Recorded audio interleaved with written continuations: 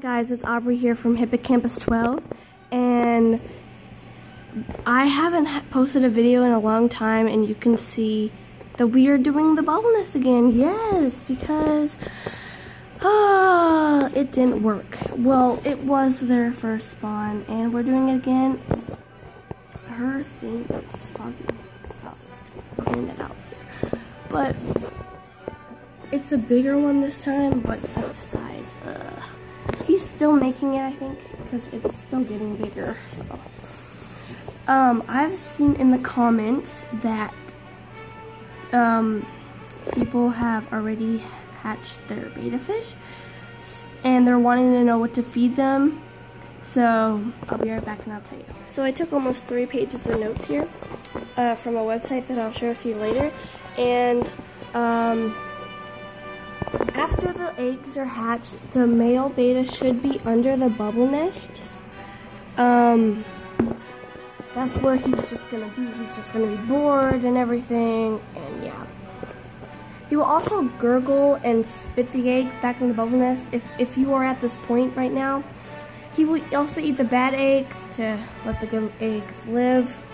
Oh, also remember to keep the lights on for he can see the falling eggs, but don't feed don't feed him. Don't feed him.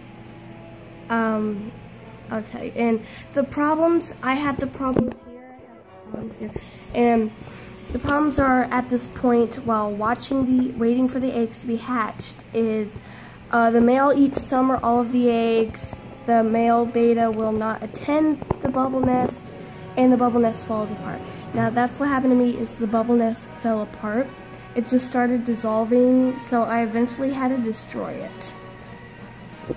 Now, if you if the um, fry do hatch, it will look like little hairs under the bubble nest, and like they will also like bounce like like it's so hard to like what my finger did. yeah, and the male will also be very busy like going down and up to put the babies back in. So hopefully I'll make a video of that. And I'll explain this on the next step. This is just the problems and information. Um, yeah. After a day or two, the fry might settle to the surface and able to float. Um, also, note, you don't need to feed the fry. They will eat their yolk sac.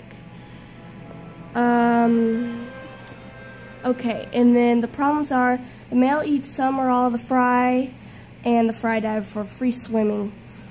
And after they're free swimming, you're gonna be pretty lucky. Free swimming is to is to straighten out their position and swim in a horizontal position. So horizontal means straight, I think. But some will die, so don't be disappointed if they die. Okay, now feeding the fry. This is the one that did comments, and I don't mind that. That's fine.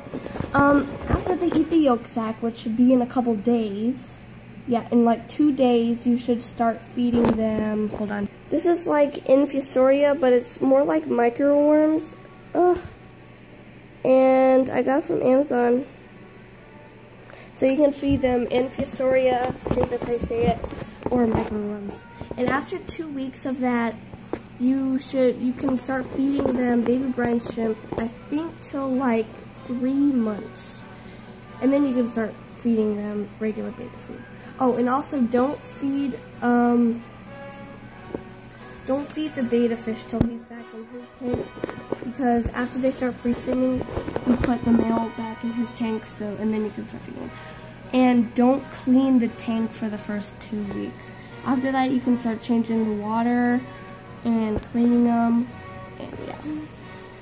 So, if you guys have any more questions, just tell me, because I had some problems too, and yeah. So please just ask me in the comments of this, and I'll answer your questions because I probably didn't get it all. But thanks for watching, guys. Hopefully you'll see Fry the next video, okay? Bye, guys.